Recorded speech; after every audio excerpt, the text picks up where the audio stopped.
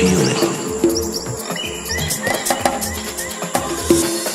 Our heartbeat starts out like a drum set to a timer that always seems to end too soon. Waiting for one final fire. One horrendous storm. One brutal earthquake.